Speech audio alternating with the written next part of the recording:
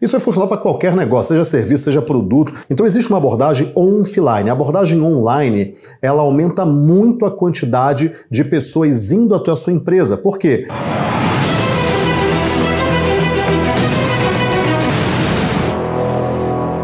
O comportamento do consumidor hoje mudou. Ele está pesquisando muito mais online para decidir se ele entra em contato com aquela empresa no ambiente offline. Então, por exemplo, se você tem uma escola infantil, você vai ter muita pesquisa online sobre você primeiro e esteja preparada para receber essas pesquisas para depois o consumidor entrar em contato offline com a sua escola.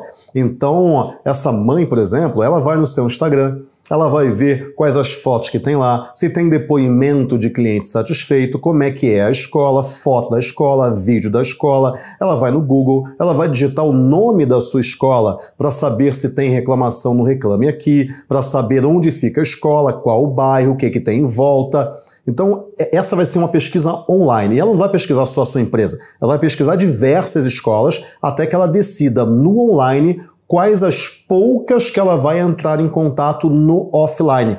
Isso vai funcionar para qualquer negócio, seja serviço, seja produto. Se você tiver uma empresa de produtos, a pessoa vai pesquisar o seu produto ou a sua fama, se vai ser entregue ou não, se você presta assistência técnica ou não, no online. Então existe uma abordagem offline. A abordagem online, ela aumenta muito a quantidade de pessoas indo até a sua empresa. Por quê? Porque você, você aumenta o nível de credibilidade no online.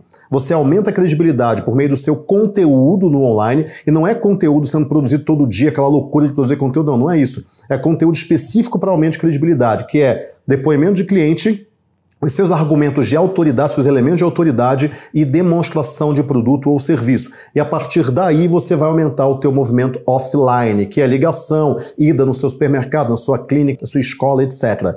E com isso daí você vai aumentar o seu movimento. Mas para isso é importante que você se mostre para esse mercado. Fazendo o quê? Fazendo anúncio. Fazendo isso, vai funcionar. Você quer transformar a sua empresa numa máquina de vendas para clientes pagadores e qualificados e não aquele monte de curiosos que fica ocupando o seu tempo e o tempo da sua equipe de vendas sem comprar nada?